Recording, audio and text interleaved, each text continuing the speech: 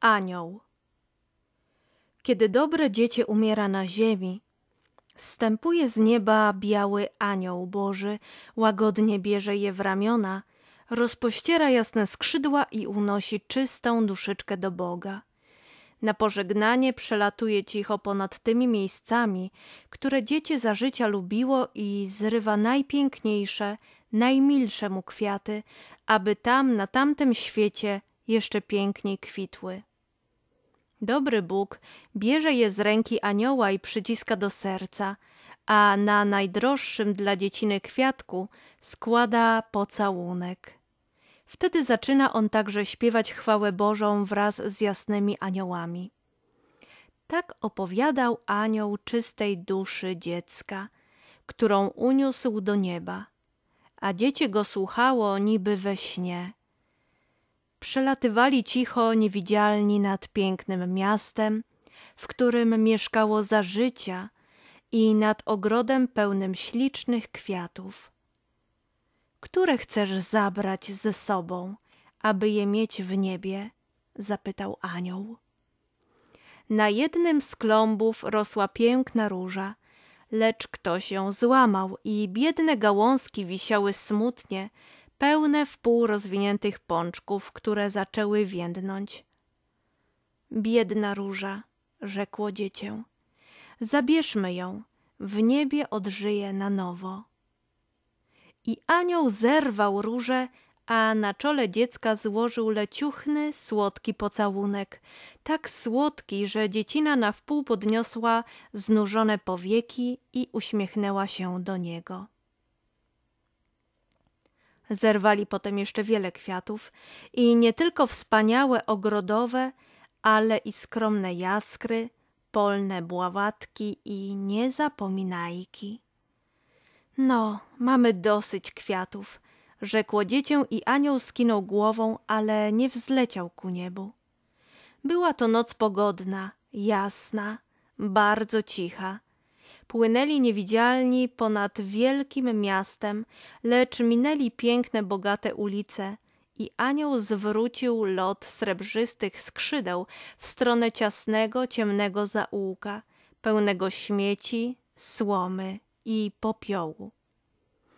Na środku ulicy leżały skorupy potłuczonych garnków, talerzy, gałgany, kawałki kapeluszy.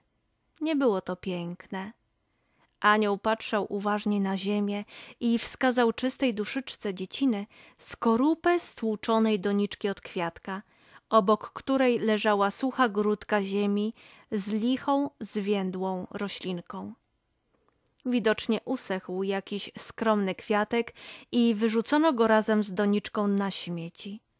Zabierzmy go, rzekł anioł, a gdy lecieć będziemy już teraz wprost do Boga – opowiem ci o tej roślince. I mówić zaczął. Tutaj, w tej wąskiej uliczce, w piwnicznej izbie ubogiego domu, mieszkał biedny, chory chłopczyk. Od lat najmłodszych nie wstawał z posłania. Był kaleką. Kiedy czuł się lepiej, mógł przejść parę razy ciasną izdebkę przy pomocy szczudeł. Dla niego była to wielka wyprawa – Podczas pogodnych dni letnich niekiedy ciepłe promienie słońca przenikały aż do nędznej izdebki i padały jasną, ciepłą smugą na podłogę. Wtedy chory chłopczyk siadał w ciepłym blasku i patrzył na swe chude palce, przez które przeświecała krew różowa. To się nazywało, że był dzisiaj na przechadzce. Nie znał on lasu, ani jego zieloności i świeżej woni. Słyszał o nim tylko, gdyż raz syn sąsiada przyniósł mu zieloną gałązkę. Biedny kaleka zawiesił ją sobie nad głową i zdawało mu się, że siedzi w lesie pod drzewami. Słońce prześwieca przez liście zielone, ptaki śpiewają, pachną leśne kwiaty. Innego dnia przyniósł mu chłopczyk z sąsiada kwiatek polny. Przypadkiem wyrwany z korzeniem, zasadzono go w ziemię w stłuczonej doniczce, lecz przyjął się szczęśliwie. zaczął wypuszczać listki i odtąd kwitł co roku na wiosnę.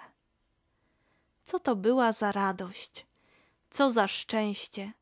Doniczka stała na jedynym oknie na wprost posłania kaleki i mógł patrzeć zawsze na ten wspaniały swój ogród kwiatowy. Był to jedyny skarb jego na ziemi. Podlewał też roślinkę, pielęgnował i troszczył się, ażeby każdy promyk słońca, który przenikał do nędznej piwnicy, ogrzewał kwiatek swym ożywczym ciepłem. I polny kwiatek zdawał się wzajemnie dla niego tylko rozwijać się, kwitnąć, rozlewać woń leciuchną. Cieszył oczy dziecka, radował jego serce. Chłopczyk kochał go bardzo i na niego zwrócił ostatnie spojrzenie, kiedy ten świat opuszczał. Od roku biedny na ziemi kaleka jest szczęśliwym aniołem w niebie. Od roku zapomniany kwiatek stał na oknie. Zwiądł, usechł, i ze śmieciami wyrzucono go w końcu na ulicę. Myśmy go dziś podnieśli, biedny, zwiędły kwiatek. Bo więcej on radości rozlał na tym świecie niż najpiękniejsze, najwspanialsze kwiaty królewskiego ogrodu. A skąd ty wiesz to wszystko? zapytało dziecię, które niósł anioł Boży. Wiem, odparł anioł, gdyż byłem tym biednym kaleką, który umarł w ciasnej izdebce. Więc znam mój kwiatek drogi. Dziecię szeroko otworzyło oczy i patrzało w promienną, jasną twarz anioła. Wtem otworzyło się niebo przed nimi i wpłynęli do kraju wiecznej szczęśliwości. Bóg przycisnął do serca duszę zmarłego dziecięcia i natychmiast skrzydełka strzeliły jej z ramion i uleciała ku innym aniołkom, które krążyły w koło szczęśliwe, śpiewając cudne pieśni.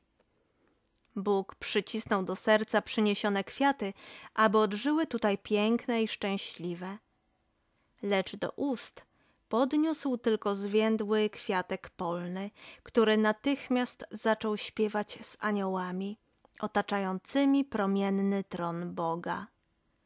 A było ich tak wiele, taka nieskończona mnogość, bliżej i dalej, dalej, gdzie wzrok już nie sięga, a wszyscy równie jaśni i szczęśliwi.